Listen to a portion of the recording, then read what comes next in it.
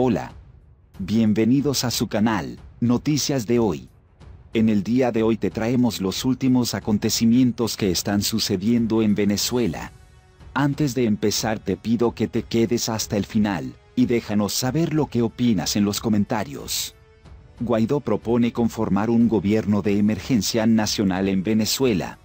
Aseguró que la situación en su país se va a agravar con la pandemia del virus. Estas medidas abarcan la entrada de insumos médicos, ayuda a los sectores más vulnerables, agua para nuestros hospitales y solicitar recursos a organismos financieros internacionales. Pero debemos asumir que todo eso será imposible si Nicolás Maduro continúa usurpando funciones, aseguró. Y agregó, esto no es un tema político, sino humanitario.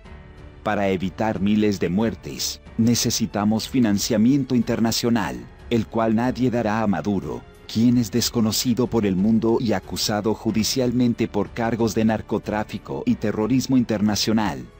Guaidó aseguró que este gobierno de emergencia nacional incluiría a todos los sectores políticos. He asumido el compromiso de hablarles con la verdad, por dura que sea. También hemos desarrollado las capacidades, tenemos un plan y una estrategia para salvar a millones de venezolanos. Esto no es habladuría, ya lo hemos demostrado, esto va en serio, finalizó. Maduro fue acusado el jueves de narcoterrorismo por Estados Unidos, que ofreció 15 millones de dólares de recompensa por su detención. Estas acusaciones implican un aumento de la presión contra el mandatario venezolano, cuya reelección en 2018 fue considerada fraudulenta por más de medio centenar de países.